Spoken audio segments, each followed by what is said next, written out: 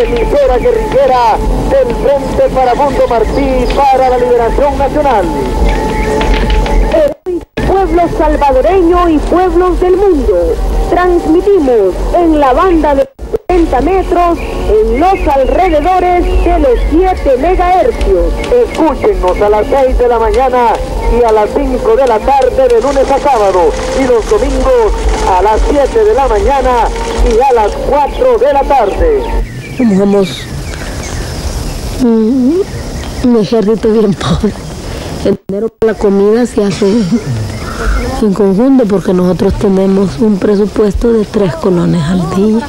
Y la comida, la ropa y los zapatos aquí de compra centralizada. Propiamente el material de guerra. ¿Cómo logramos el aseguramiento? La fundamental es el mismo ejército enemigo, requisando, comprándole a los oficiales corruptos. El mercado negro pues en general. La comida y la medicina la tenemos con la solidaridad internacional. No hay condiciones pues para, para que tengamos un presupuesto que nos cubra de la necesidad. Por ejemplo, este zapato ya se me rompió ya día. Ahí lo estoy aguantando porque vale 50 pesos el par. Y uno no puede tirarlo solo porque tiene un hoyito. Por eso cada quien aquí este volado tiene que tener uno bastante consciente. En este espacio estaremos presentándoles una reseña sobre los acontecimientos que en 1932 forjaron el heroísmo y la valentía. Toda la vida tenía el pelo largo. Ya voy a morirme en la ofensiva final. Voy a morirme de pelo corto. está maliciosa. Cállate. Quiere quedar bien con alguien. Las mierdas que diga José las cortan en la y. Pero se le ha metido. Voy a cumplir 21 años de haberme casado. Hemos tenido tres mujeres. Año y medio. Lo que he tenido la experiencia más grande es estar lejos de. Y allí lo hemos estado viendo como, como a los dos, tres meses, así. Como irnos de la casa, separarnos después de que vivíamos juntitos las 24 horas del día. Separarnos es, un- es una situación terrible, pues pasar un mes sin verlo, dos meses. Ahorita estoy trabajando en servicios, donde allí las tareas que se realizan es eh, este, acarrear víveres para, para el lugar donde estoy yo, para el campamento. Como en la pareja sale de todo, ¿verdad? Que si no es el esposo que rompe con todas las cuestiones, es la compañera. En el caso, en la pareja nuestra, ella rompió primero con eso. Siete, uno, siete. Me dijo uno, Siete, uno, siete. uno, siete, uno. Y te lo sacaron ayer. Va, un momentito. Estaba más pequeña, no podía desempeñar tareas. Yo cuando desempeñé una tarea me pusieron a la par de ella también a desempeñar. Se siente el apoyo de la madre y también se siente más contento, ¿no? Porque anda cerca de ella y, y anda como andamos todos casi, se puede decir, que lejos de la madre y así no andamos juntos con ella. Aquí no hay una tarea que no sea peligrosa, todito es un peligro.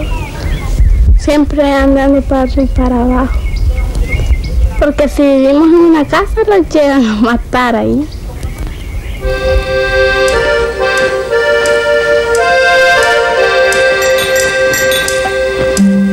Para mi pueblo, Arcatao. Tengo meses de no ir por allá. Por el momento, no hay presencia del ejército. Todo está tranquilo. Por eso podemos ver al padre de José. ¿Quién sabe cuándo vamos a verlo otra vez? Esta tranquilidad no va a durar mucho.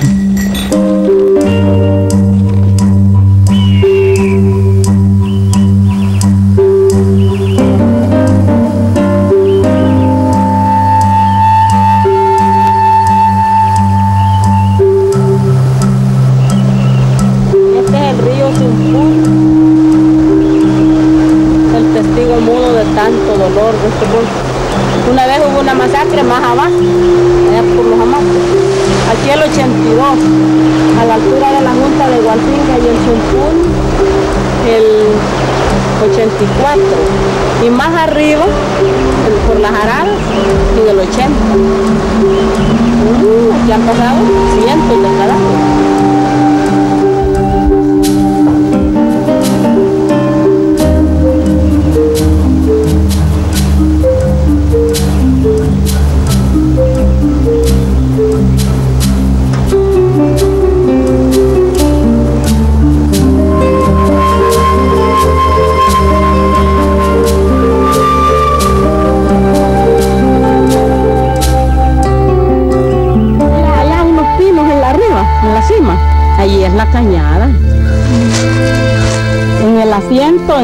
del asiento, es Arcatao.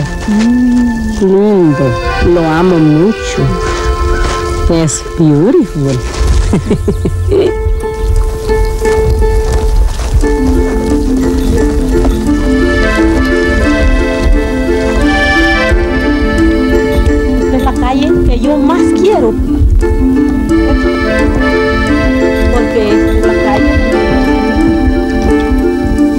tristeza me da de ver a mi pueblito así, tan despoblado. Y pensar que éramos como diez mil. Pero a quien no lo mataron, se fue. Se fueron huyendo de la guerra. Ahora solo quedan unas mil.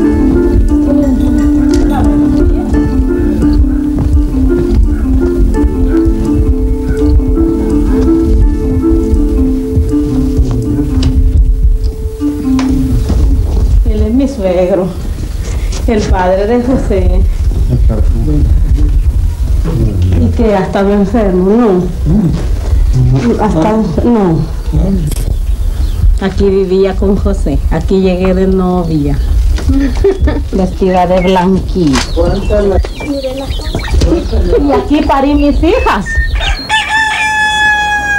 La primera vez que vino María aquí a la casa, no salía de la cocina. Sí, ya cuando me casé y llegué aquí. Es que nos casamos ese día y, él, y me fui para la casa donde mi madre. Y en la mañanita me mandó a llamar por una gran vergüenza que me da. No quería comer conmigo en la mesa. Yo soy hija de una viuda con 10 hijos y yo soy la número 9. Mi, mi mamá lavaba ajeno y sembraban pues, maíz, maicillo, frijoles. Para medio subsistir, para que yo haya tenido necesidad de servir desde la edad mediana. Que se puede imaginar las situaciones de hambre que vivíamos. Cuando yo iba este, cada padre de familia le compraba una mesa y un banquito a su hijo. A mí, ¿cómo me iban a comprar eso si valía 10 pesos una mesa? Era un capital para mi madre, 10 pesos. Entonces siempre fui, hasta aquí hice sexto grado, siempre fui y, y les pedía permiso a los que tenían mesa para escribir parado un ladito. Y cuando habían exámenes, yo hacía el examen en el suelo. Cuando yo tenía como unos 15 años, José va a decirme que me hiciera novia de él y que él me iba a poner a la escuela. Y como él sabía que, mira, este era malo. Él sabía que la escuela era lo más sentido para mí. Mira, si te casas conmigo, yo te voy a poner a la escuela, me decía. No, mentira, le decía yo. Y era una campesina, por mujer de, de un campesino. Y mis tareas eran por los oficios domésticos. Moler, planchar, lavar, remendar, ir a misa. Pero este, esa vida también me permitía ver un montón de, de, cosas injustas. pues. Siempre los pobres olvidados eh, y todas sus posibilidades limitadas, algunos sin tener nada. Entonces esa desigualdad, esa pobreza fue la que me llevó a decidir esta vida. Pues. Era militante de UTC. UTC quiere decir Unión de Trabajadores del Campo. Es una organización campesina. Las demandas de la UTC eran que nos dieran la comida en las haciendas. en las cortas de café, en las cortas de caña, y que nos aumentaran el salario. De allí como, como irse a parar todos y decir, por favor, dennos una cucharada de frijoles y una tortilla, ustedes nos echaban la guardia.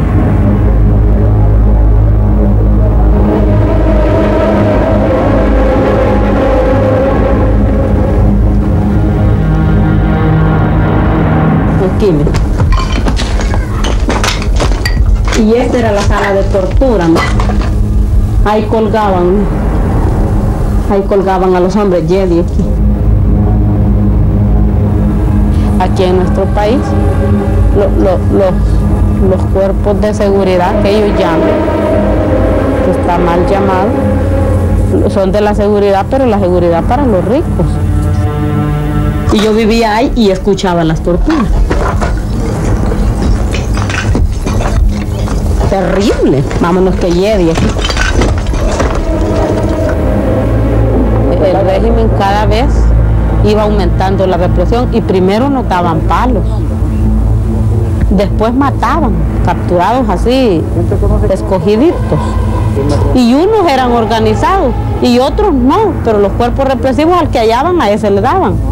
Cuando era un día domingo, acuérdese, que se tomó en el pueblo. Ese fue el 2 de febrero del 79. Ese día fue la primera vez que se tomaron el pueblo. Así es, que hubo un operativo. Y que no, no, no, nos pudimos salir nosotros para... Aquí nos decidimos a que nos mataran. lo, que hice, lo que hicimos fue ponernos a cantar en la maga que teníamos ahí. Y abrir las puertas. Y abrir las puertas y a cantar.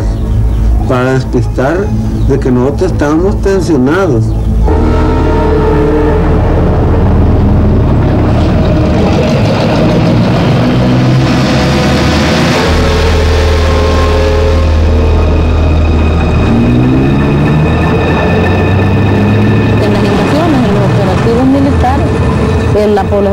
Siempre ha sido un blanco militar del régimen. Entonces siempre nos ha perseguido a muerte y el que lo han alcanzado lo han matado. Era una masacre indiscriminada, bombas,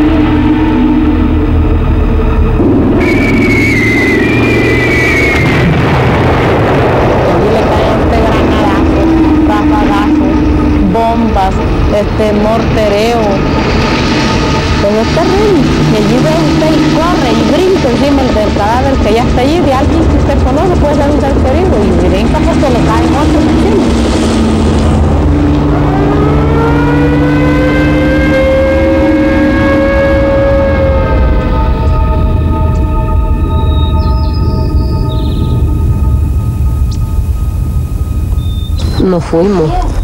Todos, sí. Esa la minita tres años tenía entonces con ella en el lomo.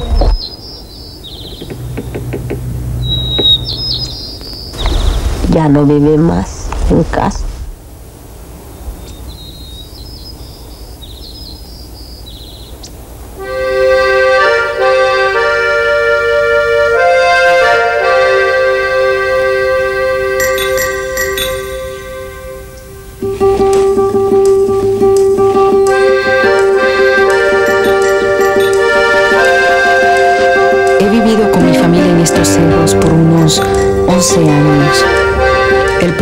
Grande fue aprender a sobrevivir en esta guerra cruel.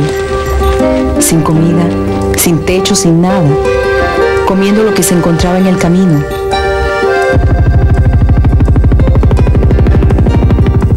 Y las bombas cayéndonos encima y nosotros siempre huyendo. Mucha gente salió del Salvador, pero algunos nos quedamos. Es nuestro país, aún en medio de la guerra.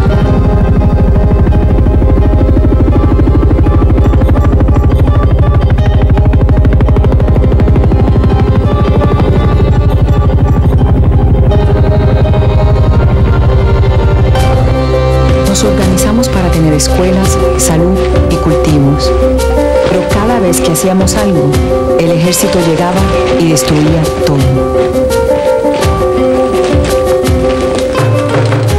La guerrilla también vivía en los cerros. Nos ayudábamos mutuamente. Miren, no es como dicen, que uno está al lado de la guerrilla y que a fuerzas lo inscriben a uno. Fueron simplemente las necesidades diarias de nuestras propias vidas que nos impulsaron a trabajar juntos. Al fin me dije, bueno, si nos ofrecen balas, ¿por qué no le damos balas a ellos también? Así es que en el 1987 me incorporé al FMLN.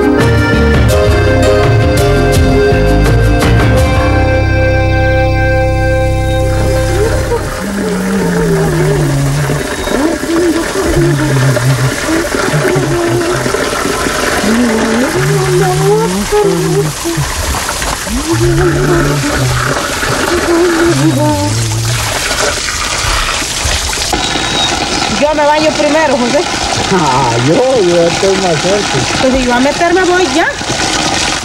Ay, Yo a meterme voy. Joséito. no está bueno que lado de la comida. No, hombre.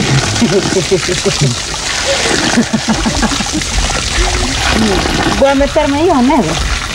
Voy a bañarme yo.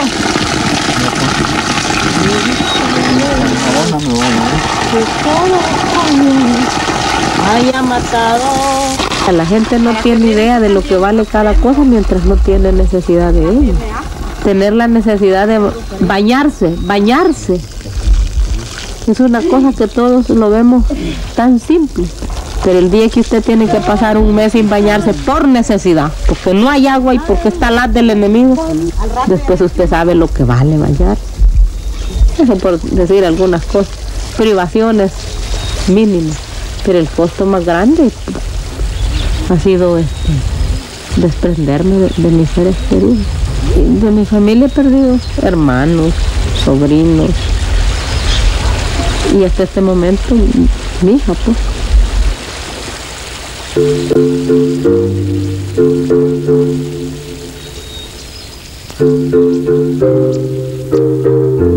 Si José oyó la No, detonación, si yo oí la detonación cuando los... la estaban Nunca pensé matando. que mi hija era la que estaba cayendo en ese momento. Oía bin, bin, bin. A esa dirección dije, a ver, que en la tarde ya llegó un cipote, ¿sabe cuál, Marito? Aquel cipote de, de los hilos.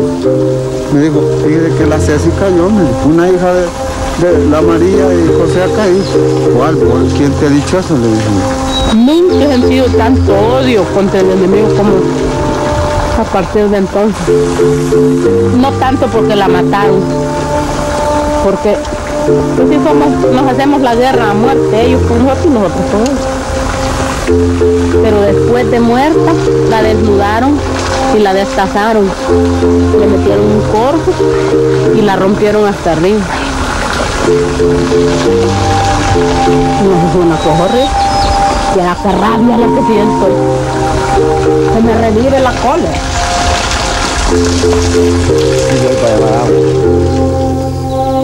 Qui- quizás fuera más, más satisfactorio para mí haberme muerto yo. Pero como si no es voluntad ni es lo que uno quiere. Entonces hay que prepararse para enfrentar cosas así. Que son cosas que no las puede describir nadie.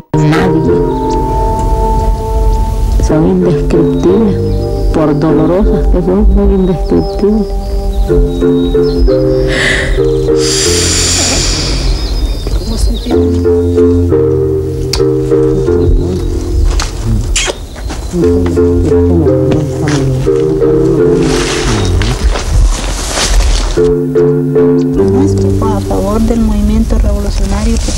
El FMLN ha entrado a un proceso de ofensiva continua, pues, y en este momento es cuando el FMLN más está creciendo. Así es. Para ellos ya em- empieza como a, A destantear la sí, a balanza. destantear la balanza. Los grandes operativos militares que ha lanzado el enemigo se han ido en vano en la práctica. He estado en reuniones cada día sin parar desde que regresé de Arcatao. Nuestra ofensiva está comenzando a calentarse ya. Si alguien me hubiera dicho hace 10 años que un día me iba a estar sentada discutiendo estrategia militar o aún cargando una pistola, jamás lo hubiera creído. Pero para sobrevivir, He aprendido a hacer un montón de cosas que nunca me imaginé que iba a hacer. ¿Cómo estamos? ¿Qué trae el Yo me traigo un terreno. Ah, ok. Mire, hijo, espérese tantito hoy. Que venga Armidi. Por ahí se sienta un ratito.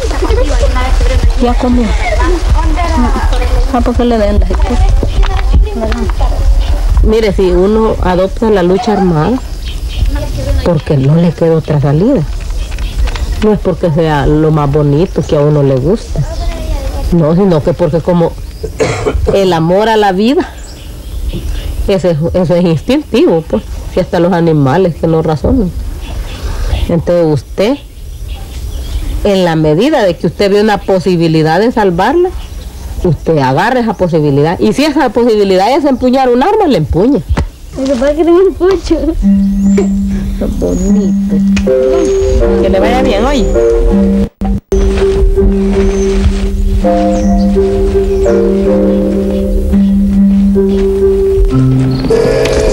Tomemos. Es de la Navidad. Está mal la Navidad. Leche de Navidad. Mañana a las 12 van a dar el tamal. A las 2 de la mañana van a estar dando el pan. Así es. Nuevo. ¿No es color? Sí, anual. No, no tiene limón.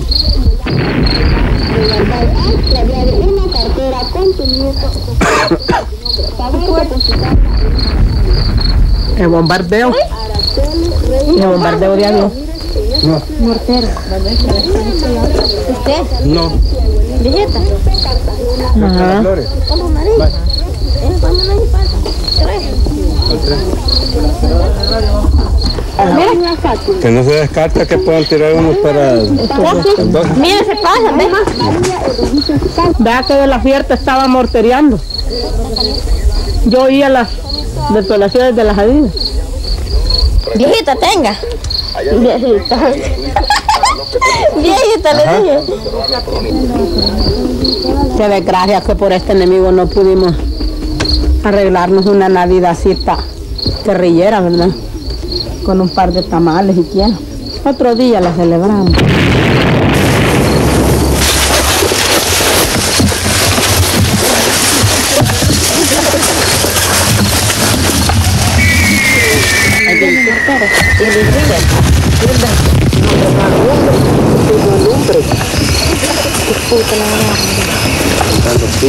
Abran la boca porque si cae un, un mortero cerca, no se le jode los oídos. Porque Lo que me dan estos grandes árboles, que si se detona arriba el hijo de puta, las esquinas agarran para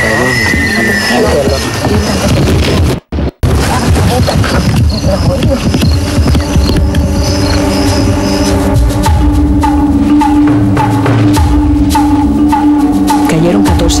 14 morteros en total.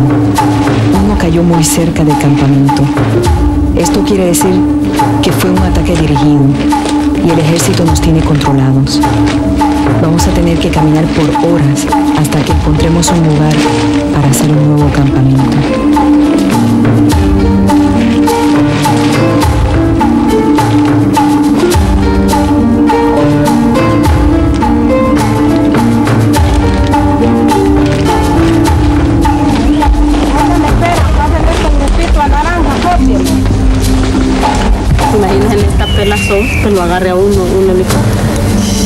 Acá y aquí. Y caminamos para la botella porque no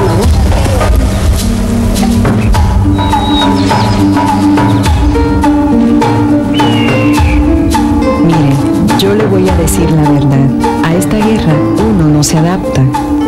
Un día estamos planeando un ataque y al otro el ejército nos obliga a correr.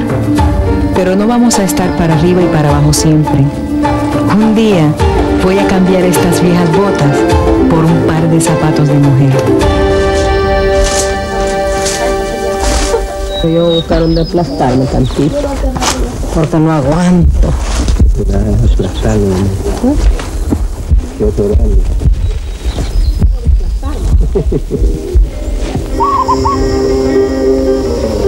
Y mucha atención, hermanos que nos escuchan, en este programa especial estaremos presentándoles nuestro espacio en Héroe Heroico, cuna de victorias en El Salvador.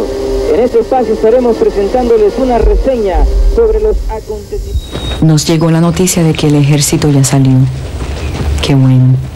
Ahora puedo ponerme a trabajar de nuevo. Vamos a un pueblito que se llama San José de las Flores. Va a haber un meeting en la plaza. Y tal vez diga unas palabritas.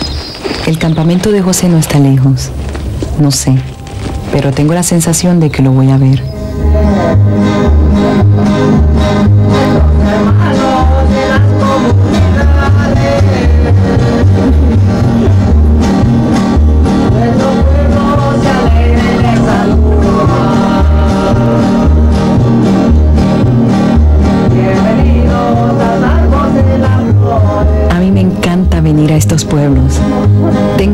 Amigos aquí y con ellos hemos vivido tanto.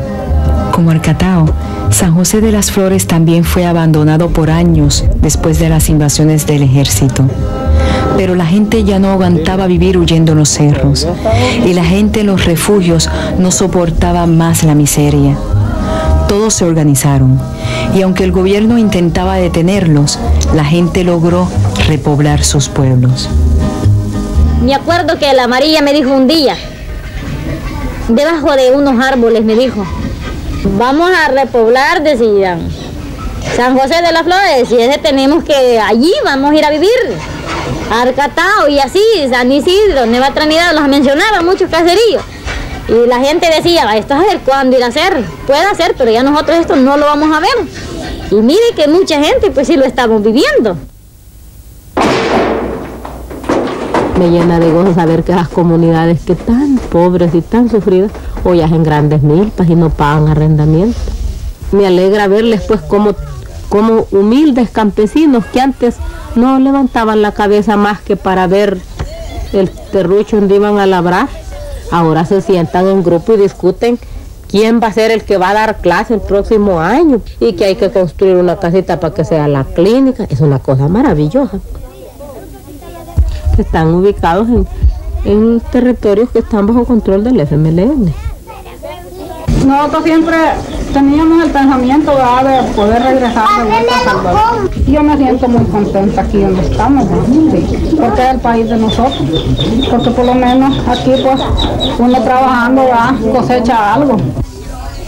En mi persona fueron dos hijas que y el marido. Y, y sobrinos, bastante sobrinos. Pues mire, yo de mi cuenta son este 27 de los que yo hago cuenta.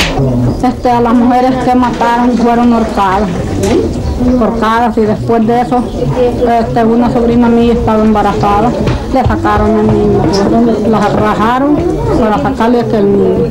Eso fue una muerte dura que le hicieron a esa, a esa sobrina mía.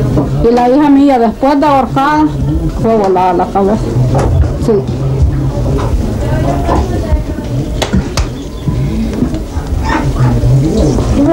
Ya que estás aquí de regreso, ¿sientes miedo? Pues por la voluntad de Dios yo no siento miedo. O como ustedes saben, ¿verdad? De que uno siempre la familia se acuerda, ¿verdad?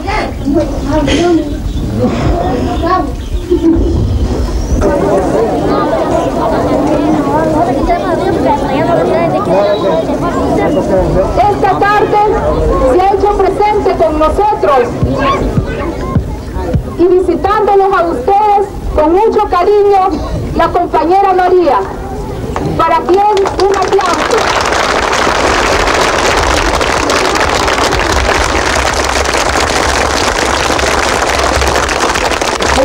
Tenemos que llevar el mensaje de la necesidad de que se organicen y que también como conjunto son capaces de alcanzar logros que no los alcanza cada individuo. Me gustan todas las tareas que encaminan el camino de la libertad de este pueblo y de cualquier pueblo. Pero específicamente me gusta el trabajo con la población, porque el trabajo con la población es el aspecto político. Nuestra obligación es orientar a la población de este momento para que sepa qué hacer, porque la gente que no está organizada sale despavorida corriendo de un lado para otro. Es necesario que todos, los niños, los viejitos, las viejitas, los jóvenes, los bonitos, los menos bonitos y los bellos como yo, nos pongamos en la búsqueda de todos los materiales caseros para darle combate al enemigo. Con garrotes, con pistolas, con botellas, con cuchillos, con piedras, con todo lo que podamos, con los dientes, los que tengamos buenos los dientes y oportunidad. ¿Estamos? ¿Listos con tope?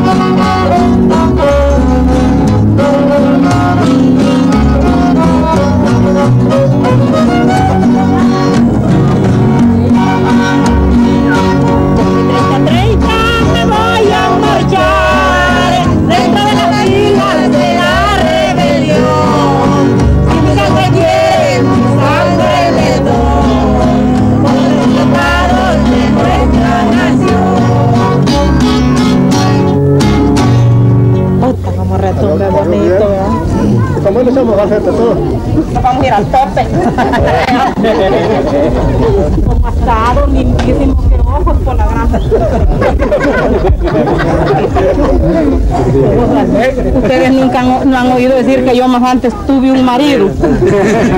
No, no se han dado cuenta. No, yo pregunto por si lo han visto como esta realidad es cambiante, tal vez ya se casó aquí en la Ya está, si lo ha perdido está, mire que ya camisa verde. ¿Y a dónde estará ese indio? pues? Que no lo miro.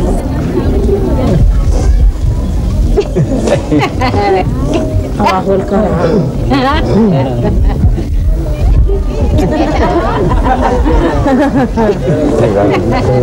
Yo por eso pregunté si conocían un hombre que fue el marido mío, porque nadie sabe, usted se casa y yo vengo bufando aquí. Pues sí, esta realidad tan cambiante, ¿verdad?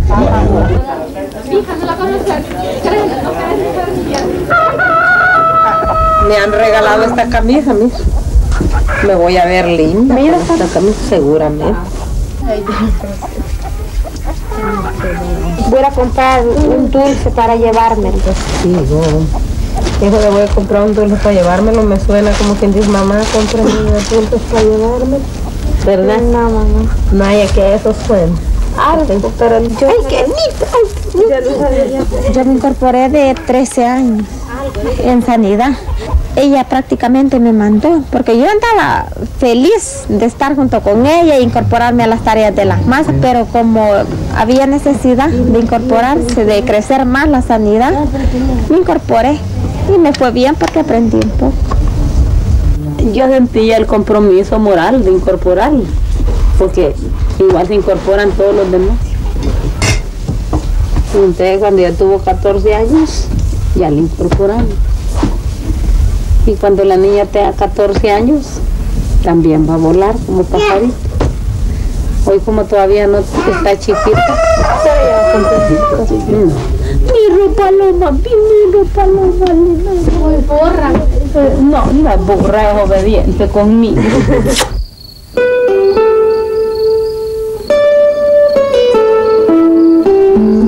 Estoy muriendo. Por favor, me soba un pie. Mire, hija, mire, es- esto de aquí es lo que me duele, como usted no tiene idea. Mire, hija, por favor, perdón, tito, mire. Sí, sí. Sí, sí. Ay, ay, ay.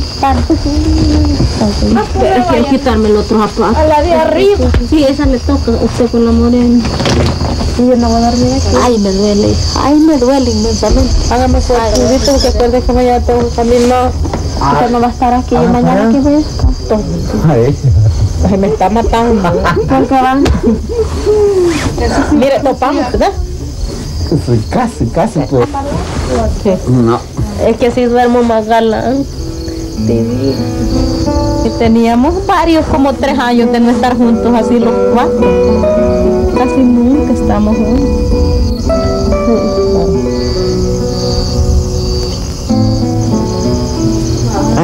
Quiero.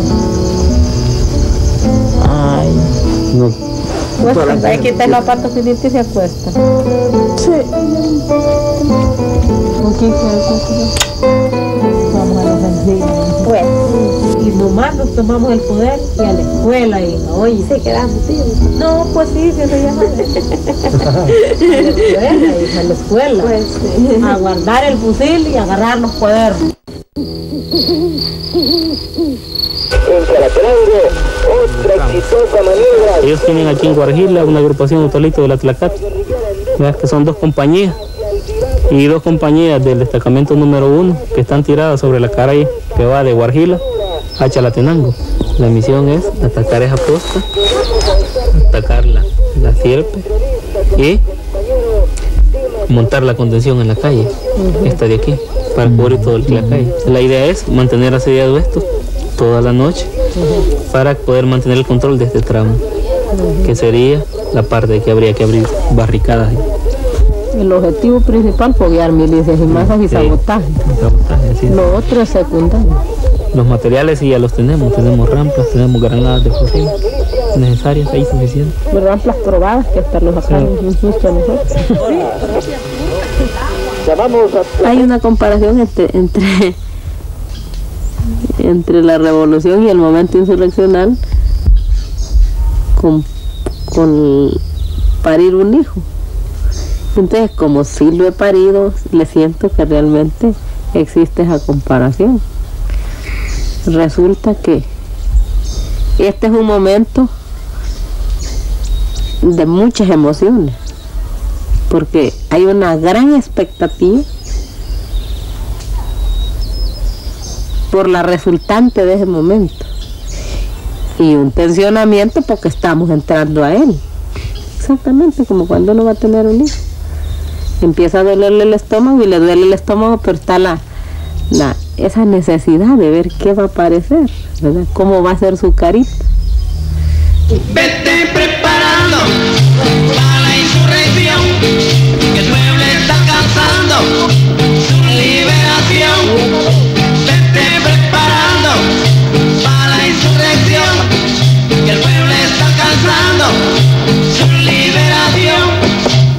Hemos estado luchando en esta guerra por 10 años y ahora nuestra consigna es vámonos al tope.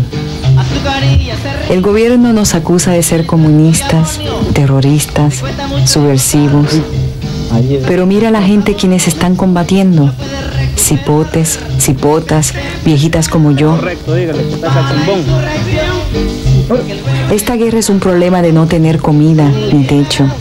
Es un problema de no tener justicia. Por eso estamos lanzando esta ofensiva.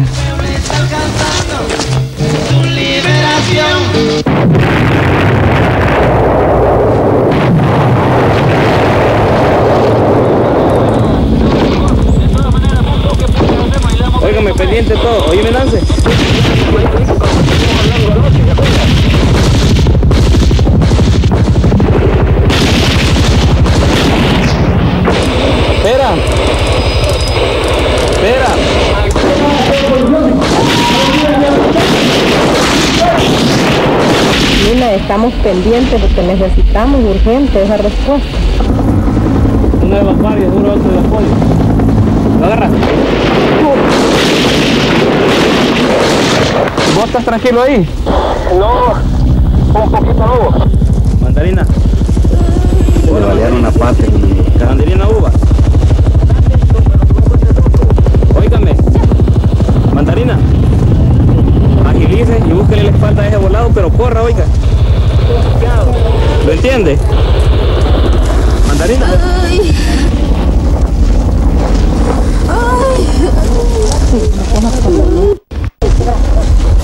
No te abataste, de eso no te vas a morir. Y la tenés buena, un poquito fraca. ¿Y de quién es esta psicótica? De primer hermano Manuel.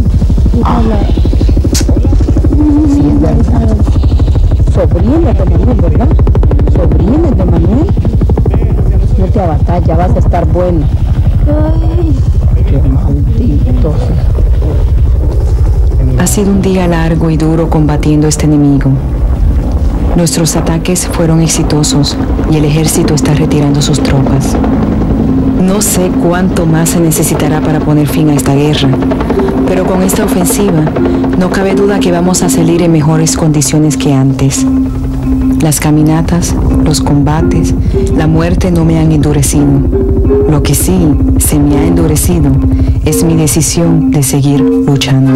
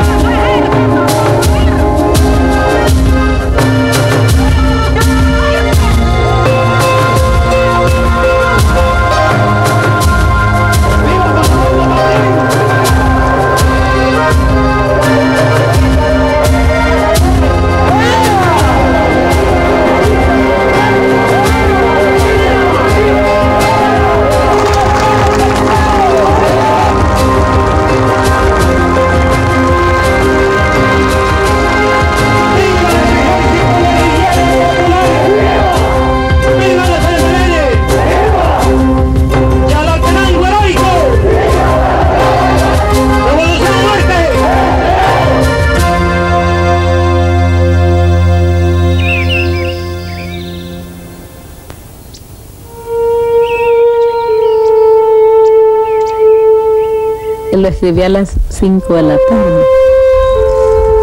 El cielo está nublado. Después de leer el correo, ofensiva final, pienso. Por ti aprendí a conspirar. Este año se han quebrado en mi cuerpo todas las tormentas del invierno.